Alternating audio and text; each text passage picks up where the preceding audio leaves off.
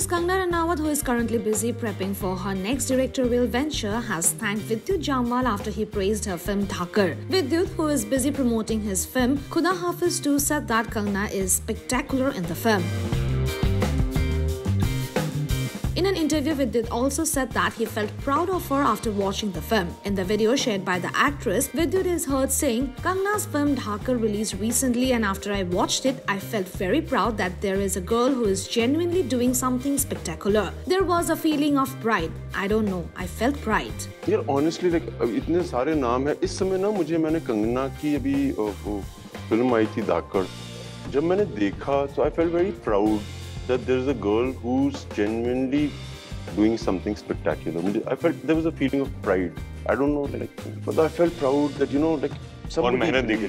Sharing the video on her Instagram story, Kangana wrote, Best action hero in the country appreciating my action scenes, Dhaakad. She further added, It's like an award, thanks, and tagged Vidyut.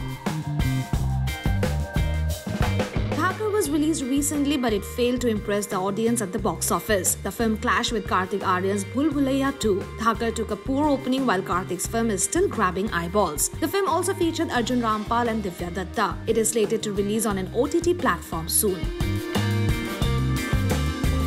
On the work front, Kangana is currently prepping for emergency. She also has Tejas in the pipeline.